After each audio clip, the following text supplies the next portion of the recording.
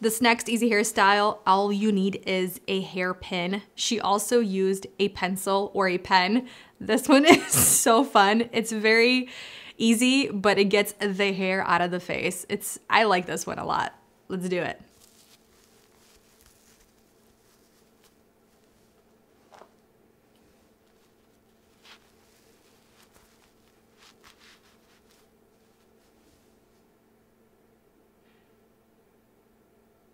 So this is a tighter hairstyle. The hair feels a lot more secure than the first one. So what you do is you are kind of gonna create a ponytail, but instead you place the other hand underneath the hair and you start doing this little twist and then take the hair underneath and that's what you're going to secure, the hair in the center. And that's what's going to keep this hairstyle very nice and tight and secure.